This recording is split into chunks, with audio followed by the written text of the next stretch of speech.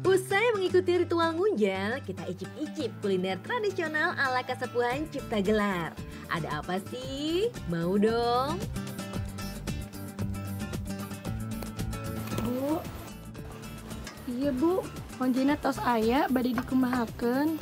Ayo orang canda kalebet baik, sekantenan orang langsung masak ungkep lauk. Yuk. Ayo. Si ibu masak ungkep lauk. Pasti enak. Bahan-bahannya adalah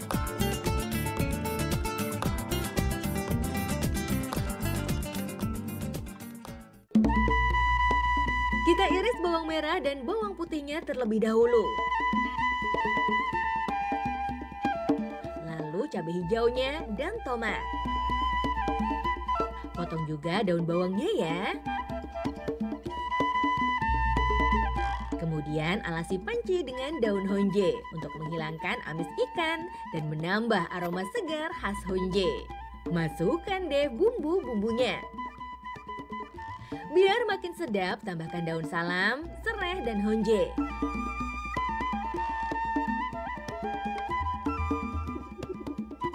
Barulah ikan bawalnya. Jenis ikan lain juga bisa sahabat. Sesuaikan aja dengan selera masing-masing. Kalau di Cipta Gelar, ikan bawal memang menjadi favorit. Jangan lupa beri gula dan garam secukupnya ya. Nggak perlu pakai bumbu penyedap, dijamin enak kok. Masukkan lagi bumbu-bumbu rempah di atas ikan, termasuk daun salam dan honjenya. Dududu, mantap nih. Terakhir, beri air sampai semua bahan terendam. Masak selama kurang lebih satu jam sampai bumbu meresap sempurna.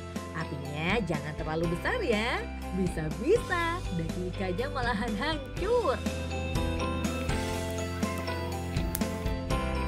Ahai, lauk ungkepnya sudah matang, ay. Langsung aja kita santap rame-rame ya, mumpung hangat. Ikan ungkap ala Cipta Gelar. Raos pisan.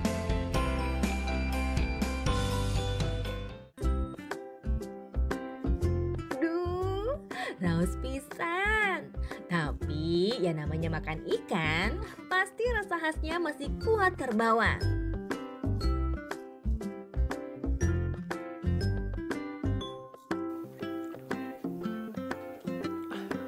Ngunah pisan ibu. Kan bau hanyir kumaha ieu? Tenang, ibu tos garu sesuatu nu spesial. Hmm. Tunggu ya.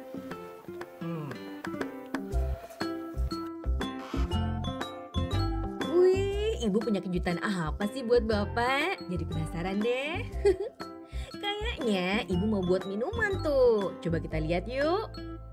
Ternyata minumannya masih berbahan dasar honje nih sahabat. Tapi kali ini yang kita gunakan adalah buahnya. Buatnya gampang. Kupas dulu buah honjenya, kemudian masukkan ke dalam gelas. Beri gula secukupnya saja ya. Teduh deh dengan air hangat.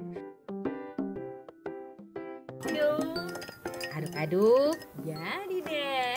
Simpel kan? Hmm, rasa masam dan segar dari buah honje memang cocok banget untuk diminum setelah mengkonsumsi olahan ikan.